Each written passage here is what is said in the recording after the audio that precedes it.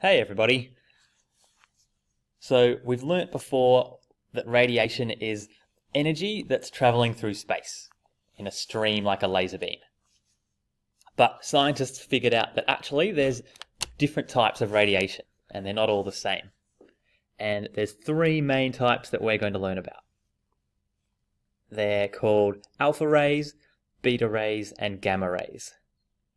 So those people who know a bit of Greek or they speak Greek at home, they would know that these are named after the Greek letters of the alphabet. Alpha, beta, and gamma, they're the first three letters of the Greek alphabet. We have alpha, beta, and gamma.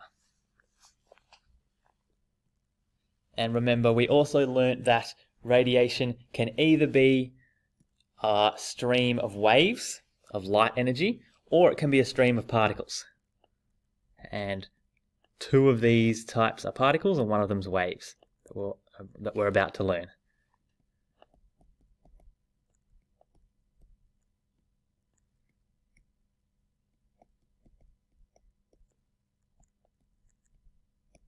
Radiation can be particles or waves.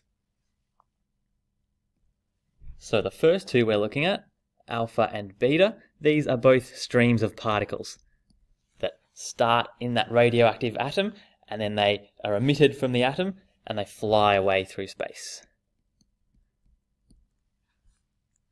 And gamma rays, these are waves.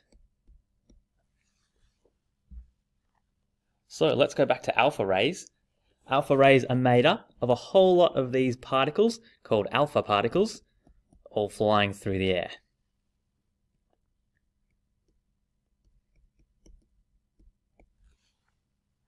And beta rays, they're a particle type of radiation too, and they're made up of a whole lot of these little beta particles flying through space. And actually, scientists discovered that beta particles, they're just free electrons. So it's almost like electricity flying through the air. It's a flow of electrons. And then gamma rays, that's waves of light. And remember from year 8 when we learnt that light is part of this big category of energy that's called electromagnetic radiation.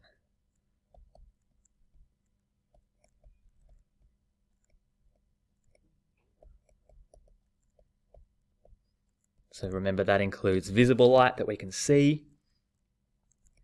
It includes gamma rays, it includes X-rays and radio waves. All these different types of waves are the same type of energy.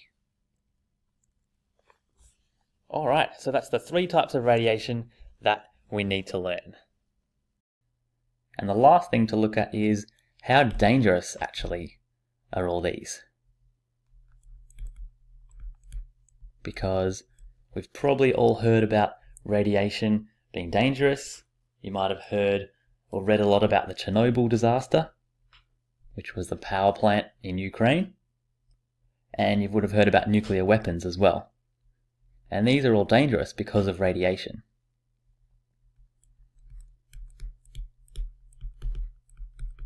And really, radiation is dangerous because of energy. And here's the energy level of the three different types of radiation here. Alpha particles, they have a pretty low energy.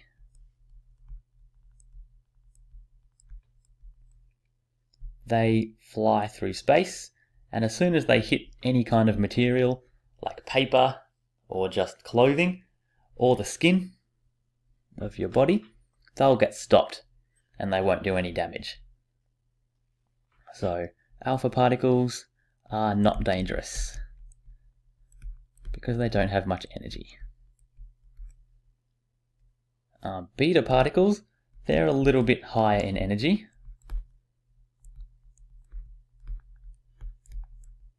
You can say medium energy. And they'll go through paper, but they'll get stopped by a thin sheet of aluminium metal. So like tin foil from the kitchen. So they can actually go through your skin into your body, So they can be dangerous a little bit.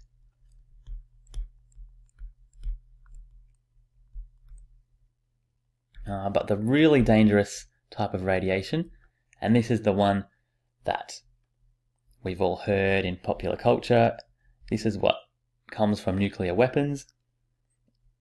Gamma radiation is the dangerous one. So it's a really high energy form of light. So high energy that it will fly straight through paper, through aluminium.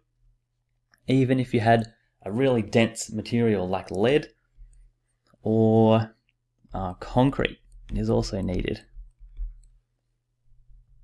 Even some of it will get through lead, so you need to use a really thick layer of lead or concrete. And this is how, this is what they built all the bunkers and the structures out of when we had the Cold War, which is in the 20th century, and countries were worried that there'd be a nuclear war. So they built lots of bunkers and structures from with really thick walls of concrete and lead so that people could hopefully be protected from gamma radiation if any nuclear weapons went off nearby. So that's the three main types of radiation that atoms can undergo. There are other types, but we'll start, we'll stick with these three for now.